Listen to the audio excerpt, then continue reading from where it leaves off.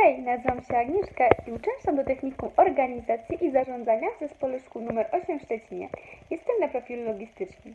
Jak myślicie, na naszym profilu są różne przedmioty. Między innymi uczymy się o magazynowaniu, o dystrybucji oraz o tym, jak dany produkt przemieszcza się z punktu A do punktu B. Również w naszym przedmiocie nie może zabraknąć ciekawostek. Jedną z nich jest to, że najdłuższy lot świata trwa 18 godzin. Jeżeli chcecie się dowiedzieć więcej ciekawostek, zapraszam Was do naszej szkoły i oczywiście na mój kierunek. Czekamy na Was.